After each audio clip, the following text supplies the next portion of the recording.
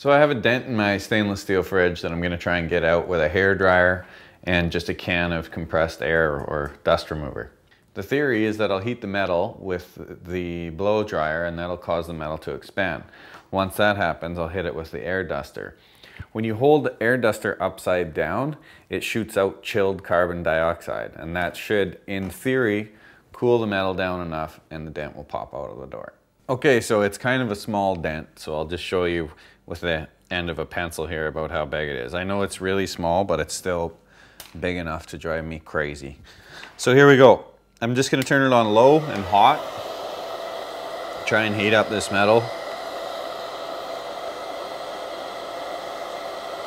I'm a little worried that if I get it too hot, it would damage the steel. So I kind of want to be careful there. I'm just going to keep touching it with my finger and see.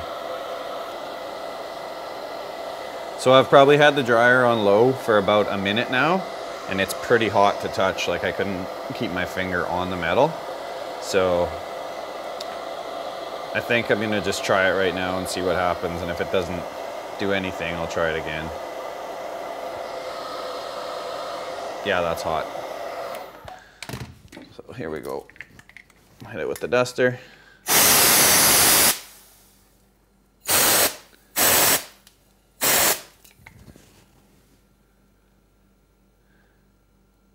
And it is definitely cold. I've waited probably about a minute now for the ice to come off the door. You can see that it's finally melting. And you can also see that the dent is still there.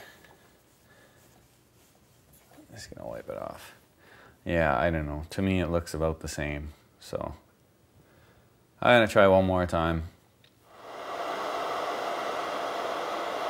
Okay, now I'm getting it really hot the second time around.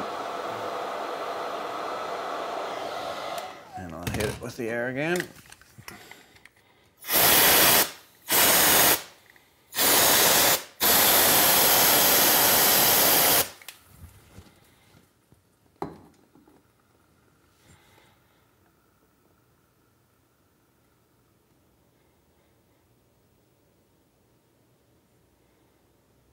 And the dent still did not pop out.